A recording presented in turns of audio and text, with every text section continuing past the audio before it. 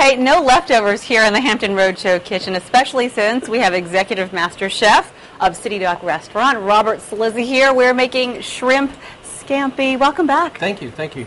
What we're doing today, I'll go over the ingredients for you. Of course, Okay. the fresh garlic, the fresh parsley, the olive oil, the Parmesan cheese, salt and pepper always to taste, lemons, Mm. Parmesan cheese, and we use the 1620 shrimp. It's a large shrimp and it holds when you cook it. I also have the water boiling. What I'd like to do with the shrimp is I shock it just for a minute to make a nice pink Okay. color to it. So you're not cooking it all the way through? Well, I do, but then it goes into the saute pan, and I finish it that way. And it just brightens it up. It makes it look alive. Also, to the right, we have the garlic bread ready, the Right. pasta ready. So we're going to put it all together uh, in the next segment, and then it's going to. What a meal! I'm telling you, what a meal. I've got to tell you, you haven't cooked anything yet, and it smells phenomenal. You had a trick to show us, though, Yeah, with, with- the shrimp. With the shrimp, and most, I'm not saying all the restaurants, but most restaurants will get your shrimp and they'll get the tail and they'll pull it off. Uh, a lot of people don't like to have the tail Yeah. Mm-hmm. as they're eating. They just want to eat it with a fork and consume it. What we do at City Dock is what we do. We do that. You can see the difference of how much meat you're losing by knowing how to peel the tail. And yeah, I mean, so what was the difference there? I mean, it was like a good, like, half inch at least. yeah, you can see more the, shrimp. You can see the, the difference in the shrimp right, Right. there. The whole Okay. tail is right there, and that's another mouthful. yeah. You know, so eh, you're paying for it, you might as well get it. Just the secret is, is just that you hear the crack when I do it, Mm-hmm. and then you take the time to peel it. Just take a few minutes, peel it back. I'll be a little bit more careful. You Give have to be. a little bit of extra time, right? Well, you got plenty of time here, yeah. and there it is, all peeled and ready to go. Okay. And you can see how it looks. It's got the tail on them, Yeah. and they hold together. And it, it's a nice presentation. It just looks nice, and we try to make everything nice we can. At the City Dock, Thanksgiving is coming, so please keep us in mind for Thanksgiving Yeah. dinner. We have our buffet. I wasn't thinking about Thanksgiving, but you're right. It's you have to plan it's around ahead. the corner. And then, of course, every Wednesday we have a wine tasting at the, at the hotel. You come in, we have hors d'oeuvres, you know, a sampling there. You can taste the wines that we're featuring from the uh, Williamsburg Winery. I mean, it's, it's a real, real nice thing. We're using today a nice Riesling in here. Okay. And as Josh always said, when you cook something good, always have good putting in with wine. Right. Top everything off. Don't use something that you're not going to that you're not Enjoy later, drink. right? Yeah. Because you're going to use just a little bit of that Sure. in the meal. Perhaps you can use this to pair it. Yeah, I mean, I the meal. always cook with wine, and sometimes I'll I'll put it in the pan, but the rest of the time we just consume it any other way. so, you know, we just do that. Uh, when I retired from the military Mm-hmm. in '95, my grandfather in Italy, here she comes. Look, here we go. Knows that I love camouflage uniforms. Right, So right. Italy has the best camouflage uniforms for their military. Okay. So he sent me a shirt. And I retired in '95, and Okay. I put it in the closet. And it's been 10 years, and I still can't find it. Still It's a good outfit, isn't it? Good outfit. Still can't find it. Terry loved it. Gonna- it's going to be good here in a few minutes. We'll put all it. this together, and you're going to really be impressed. You also have some garlic bread. I know you want to kind of discuss how you put that together before Yeah. you put it in the oven. Are you putting now it the in the way, oven? later? yes, the way that we made the garlic bread before, we put the parma, we put the provolone cheese in it, and we sliced it and baked it. This Mm-hmm. is different. Originally, when we made the garlic bread, we make our own butter and we put it on and we bake it in the oven. We were watching a guest take it and dunk it in the sauce that we make with the shrimp scampi. So now we serve it with the garlic bread in the bowl, Okay. and it's really, it's really great. You're trying to help all the folks who come to the Uh, restaurant. yes, uh, we do that, and plus Jenny Craig calls me and asks me to send her customers and stuff. And if you're asking why there's so much butter here, I promised Paula Deen I'd cook with a lot of butter because that's what she wants. I know. She is your biggest fan, I She is, imagine, she next is. to the rest of us. yes, yes. All right, we're going to actually start cooking in the next segment. We got a lot to put together, so we're going to do some more prep work here. In Yes. the meantime, send it back over to the couch where Jeremy has sat down. Right. We're in the kitchen with Executive Master Chef of City Dock Restaurant, Robert Cillizza. We're making shrimp scampi. And you've already done a little bit, and you said all you did was put this, in this is boiling water? Boiling water just to shock it to open up the shrimp and give it a nice color. Okay, so what, a couple minutes? Just about maybe 30 seconds, it'll turn pink, and that's what you want. As I said before, you know, when you have something hot, the pores open up, and that's when all your flavor will go in. What I've got started here is the garlic and butter, and you can go ahead and add the shrimp. All right. And it's boiling up a little bit. How Uh-huh. high how high is your heat there? Well, medium. What I'm going to go ahead now is put in the fresh parsley, mm. the lemon. This is such a wonderfully simple dish. Simple. Take it off the stove when you add the wine. You don't need a heck of a lot. Okay. And you're But- using that to deglaze and kind of get the Deglaze, flavor. yeah, and get the flavor, and you're going to burn off the wine and get the flavors of the wine in there. All the alcohol is going to burn off. Wonderful. Salt and pepper. Salt and pepper went in. And the last thing that I'm going to do is I'm going to go ahead and put the Parmesan cheese in. Everything has to have Parmesan cheese. That's just part of it, right? Yeah. Yeah, she, she didn't hear me over there.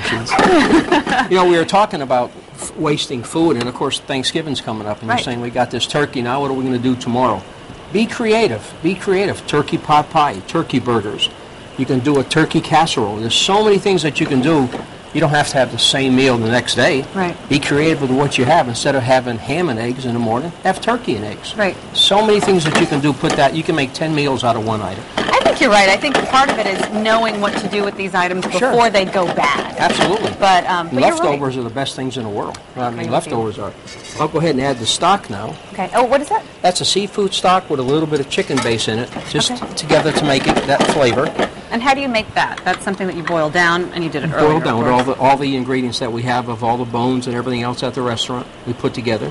What I'm doing now is I'm flouring butter, and I'm going to put that in into, Wow. the, into here. Now there is butter already in a the flavor. sauce, Uh-huh. but then Give you're me that flouring cover. the bubble butter. Uh-huh, Sorry, the cover. This, The the, cover. cover. Yep. Sorry. And what you do now is put a cover on it, Mm-hmm. put it on low, and that butter's going to melt now, and it's going to make a roux with everything else. And then you'll have a nice, nice gravy that you're going to dunk that garlic bread into. Garlic bread is in the oven. The pasta's going to get ready to be shocked. We're going to serve it in these bowls, Mm-hmm. and you'll see how it looks when we present it.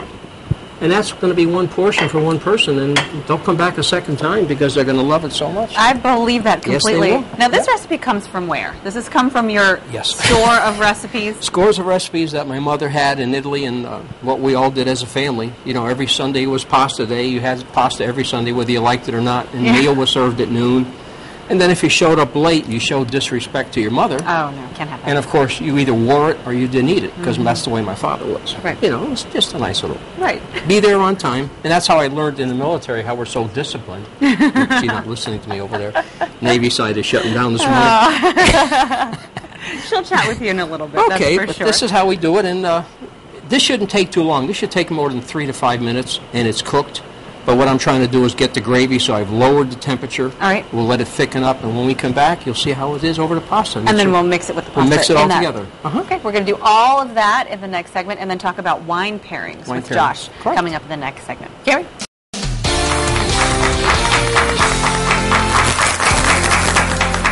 Finishing up our shrimp scampi with Executive Master Chef of City Dock Restaurant, Robert Cillizza. And this sauce is kind of the, the main part of this dish. The main part, yeah, that's because you're going to have the flavor of it, plus you're going to dunk the garlic bread into it, and it just, it's really So you need a lot of it, and it needs to be good. Now, you were telling me one of the secrets is it has to be covered. It has to have a cover, so it's, it holds all the uh, all the flavors and all the starch and everything together, and it forms a roux, as you can see what's happening right now. So what you did is you had the butter And and, the flour. garlic together, and then Uh-huh. you put the butter with rolled some in flour around it and on you top. put it right in and just see what happens. It's coming all together right now. Now it looks like a little bit is, is broken up a little bit, but it is not, and I know No. that it's not. No, no, that's just what happens as you're cooking it. See, Okay. stir it all together, and there it is. But then once you mix it with the pasta, then all is well. Yep, see, it's all there now. You had some tips for me earlier about making the pasta. Never put oil. Oil, In it. butter, nothing, because that's going to cause your sauce to, to slide right off the pasta So maybe on I've your done plate. that, but I won't do that again. Well, I heard that your sauce is on the floor a lot. Well, I and- mean, and you know. Maybe that's, My kids don't know any better, thank goodness. yep.